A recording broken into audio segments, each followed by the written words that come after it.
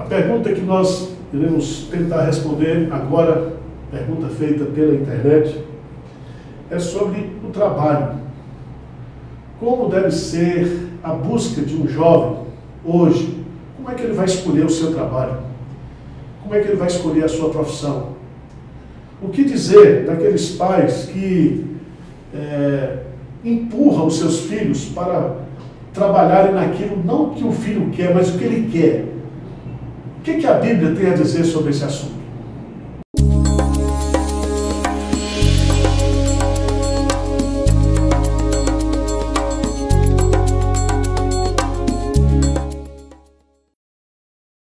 Em primeiro lugar, eu gostaria de dizer que a Bíblia ensina que o trabalho foi criado por Deus. O trabalho é bênção e a preguiça é pecado.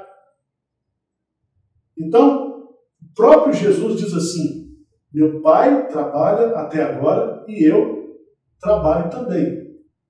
O trabalho foi criado antes do pecado. Depois do pecado, o trabalho se tornou uma coisa pesarosa, porque foi algo que Deus disse para Adão: no suor do teu rosto, suor do teu rosto, você ganhará o seu pão. Mas a Bíblia, no Salmo 128, diz que bem-aventurado aquele que teme ao Senhor e anda nos seus caminhos.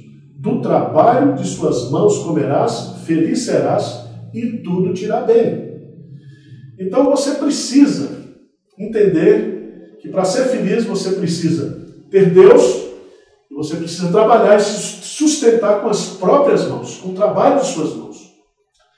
O apóstolo Paulo fala que aquele, aquela pessoa que antes de conhecer a Cristo, ela roubava, agora que ela se converteu, ela para de roubar, passe a trabalhar, e com o trabalho tenha sustento para si e tenha também é, condições de abençoar a vida de outras pessoas.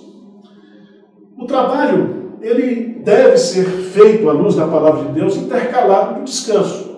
No próprio padrão que Deus criou, ele coloca lá, seis dias trabalharás e no sétimo descansará. Então Deus ele é completamente contrário àquelas pessoas que são viciadas no trabalho. O vício no trabalho é uma doença que precisa ser tratada. Em terceiro lugar, o trabalho deve servir ao bem comum. Há muitas pessoas que estão insatisfeitas com aquilo que estão fazendo. E essa insatisfação muitas vezes tem a ver com o tipo de trabalho, e esse trabalho às vezes ele é contrário aos valores daquela pessoa, ou seja, aquilo fere a consciência da pessoa, ou muitas vezes está completamente fora das habilidades e dos desejos é, e das habilidades que essa pessoa tem. Por isso que é muito importante a gente entender que o trabalho ele deve ser prazeroso, deve trazer satisfação para nós, mas a Bíblia ensina que o objetivo principal do trabalho é servir ao bem comum. Então, se eu sou médico, se eu sou pastor, se eu sou qualquer pessoa, ainda que há momentos que eu me sinta estressado, cansado, insatisfeito, mas eu sempre tenho que pensar no que, que aquela minha profissão, o meu trabalho, vai para, produzir para o bem comum. Porque o Filho do Homem não veio para ser servido, mas para servir. Quem não vive para servir, não serve para viver.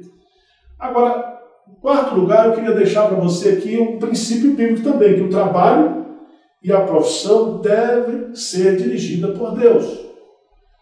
Antigamente, né, a pessoa nascia, escolhia a profissão e vivia a vida inteira naquela profissão. Mas com a dinâmica da vida hoje, nós sabemos que é muito comum pessoas né, chegarem aí aos 35, 40 anos, mudarem completamente de profissão. O que é importante é que você tem que buscar a orientação de Deus para a sua vida.